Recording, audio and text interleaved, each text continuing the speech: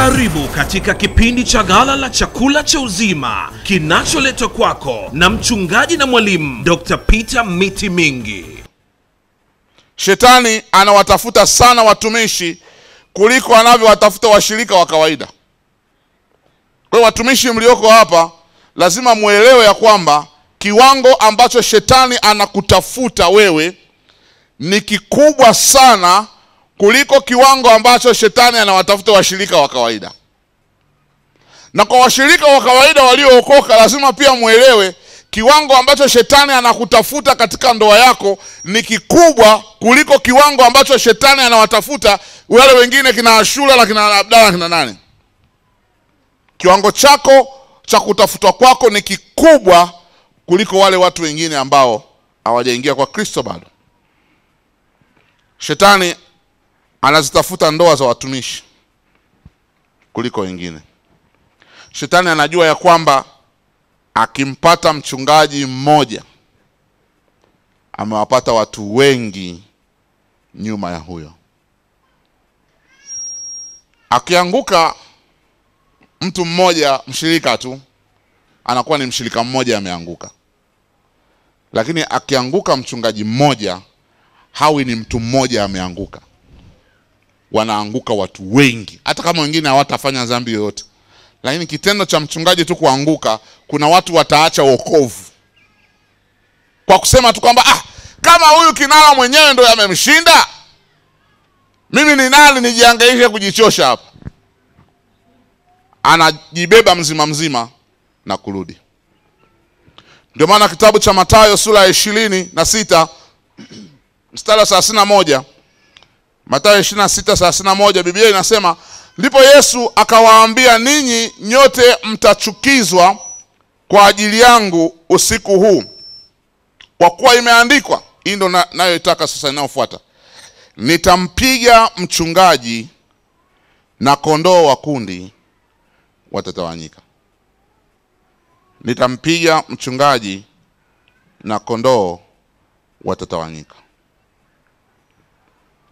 Watumishi wa Mungu pamoja na kwamba ni watumishi wa Mungu aliye hai, lakini bado ni wanadamu, bado wanapitia changamoto kama wanadamu wengine tu, bado wana wanayo nafasi ya kujaribiwa kama wanavyojaribiwa wengine, bado wana uhitaji wa kusaidiwa kama wanavyosaidiwa wengine. Kwa hiyo leo nataka sisi kama watumishi tukae makini kusikiliza somo hili, linamhusu kila mmoja wetu mahali hapa. Hapo sijui kasema, fikiri nazungumza na wachungaji tu. Kila mmoja aliyeko hapa ni mchungaji wa nafsi yake mwenyewe. Kila mmoja aliyeko mahali hapa ni kiongozi wa nafsi yake mwenyewe. Kabla hujamwongoza mtu yoyote, mtu wa kwanza unayemwongoza ni wewe mwenyewe. Kabla hujataka mtu kumbadilisha mtu yoyote, huwezi kumbadilisha mwanao, huwezi kumbadilisha mme wako, huwezi kumbadilisha mke wako. Mtu wa kwanza unayetakiwa kumbadilisha ni wewe mwenyewe. Watu wengi wanakuja kwangu kwenye ushauri, mchungaji, nisaidie, nishauri, nataka nifanyeje mme wangu aweze kubadilika? Nifanyeje mke wangu aweze kubadilika? Nawaambia, kanuni ya kwanza, ubadilike wewe. Nifanyeje mke wangu awe na tabia nzuri? Nifanyeje mme wangu awe na tabia nzuri? Kanuni ya kwanza, wewe uwe na tabia nzuri kwanza, kabla ya mumeo, kabla ya mkeo.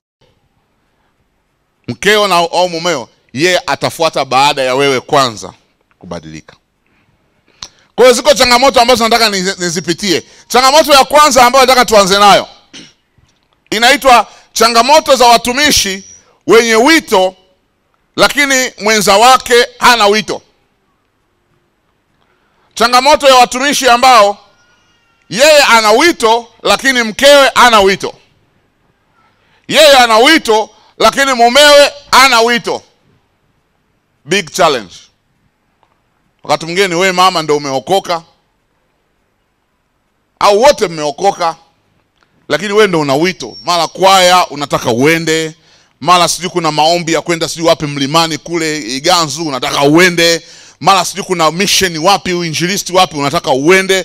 Lakini mumeo hayo yote anaona ni usumbufu ni kero. Unataka kuamka usiku uombe mume wako anaona ni makelele mkeo anaona unamsumbua.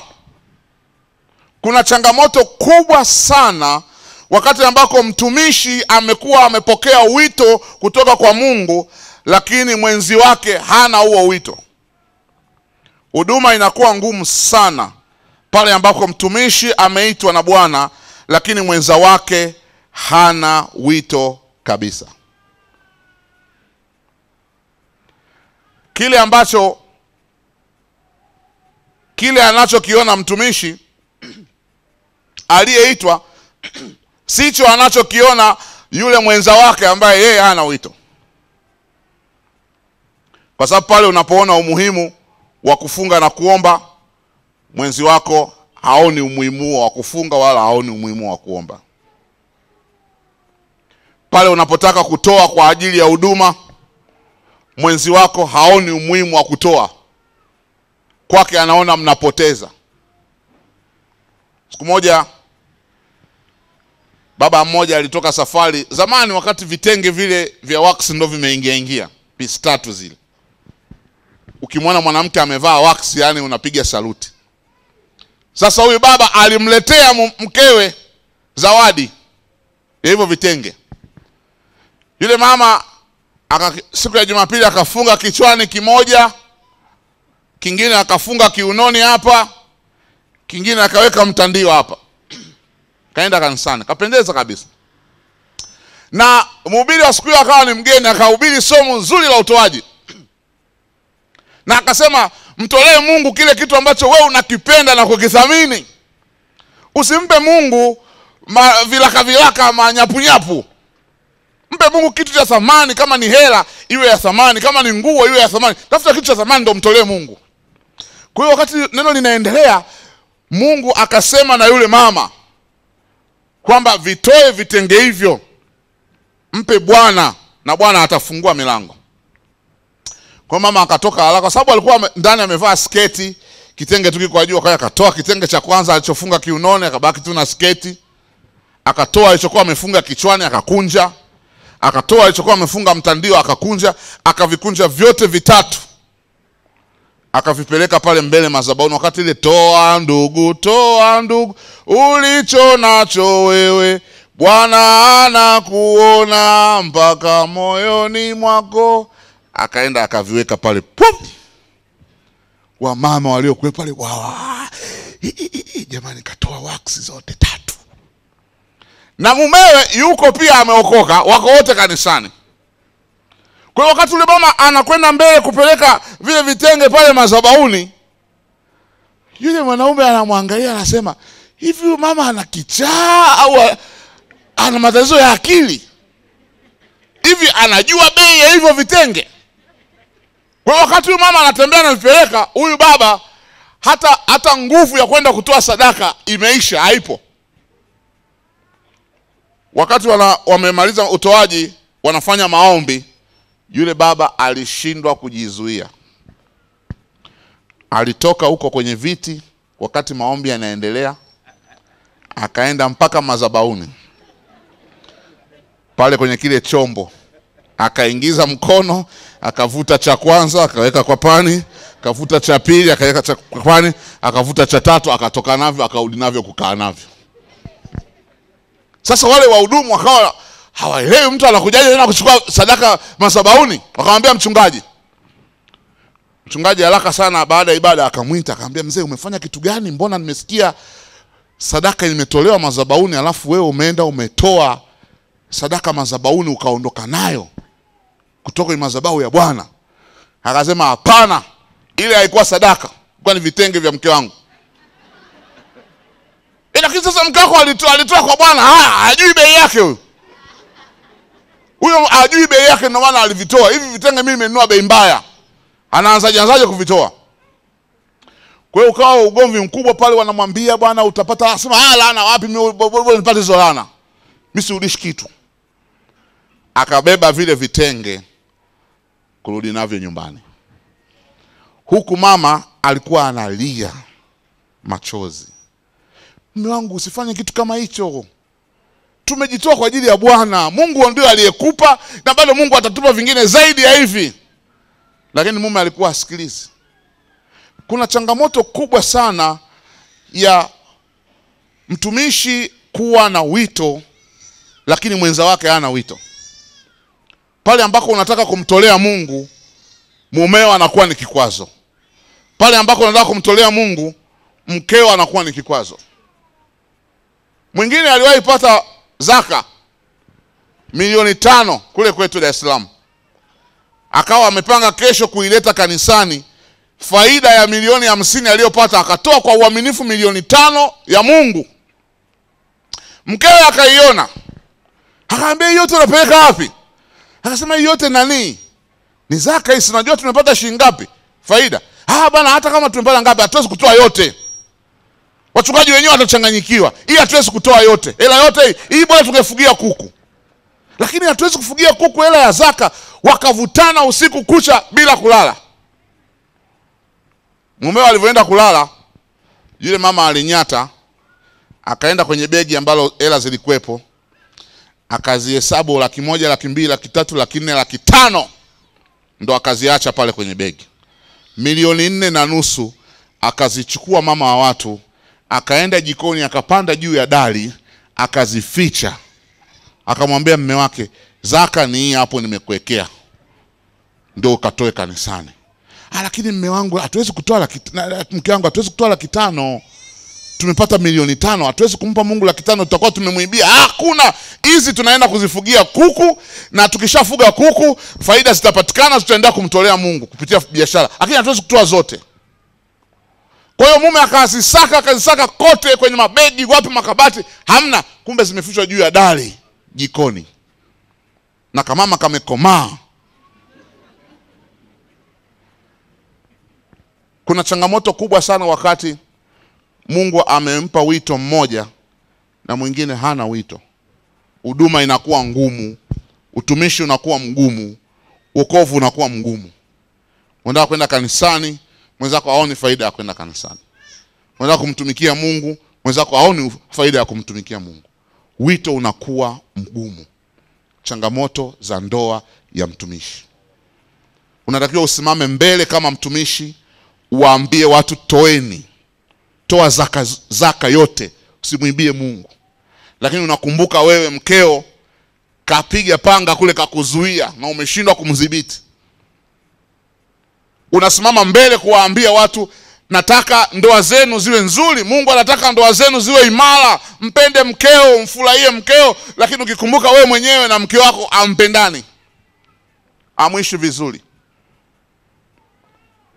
kuna ugumu sana na hasa kutekeleza maono, kwa sababu kutekeleza maono kwa mafanikio ni pale mtumishi anapokuwa ameitwa na mwenza wake akawa pamoja naye katika wito huo, akapata support ya mke au ya mume.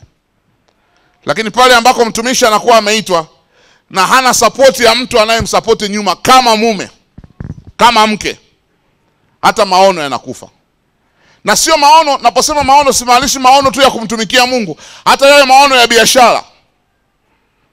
Mwanaume ili afanye biashara zake vizuri, anahitaji mkewe pia awe ameisapoti hiyo biashara, awe anaiunga mkono biashara. Mwanamke ili afanye biashara zake vizuri, anahitaji mumewe pia awe anasapoti hiyo biashara. Ndio maana leo wengi hata kwenye biashara wanakwama, kwa sababu hakuna baraka za mume, hakuna baraka za mke mke asapoti hiyo biashara, mume asapoti hiyo biashara. Yuko mume ambaye mkeo alikuwa anajitahidi sana kufanya vibiashara, lakini kila kahela anakokaleta mama akilala tu anakaiba, mume anakaiba. Kesho nakuta ma mama ameenda zero, kila siku ni kuhangaika mitaji, hakuna ushirikiano. Kwa hiyo maono ili yafanikiwe, yawe ni maono ya biashara, yawe ni maono ya huduma, yawe ni maono ya nini mume na mke lazima wawe kitu kimoja.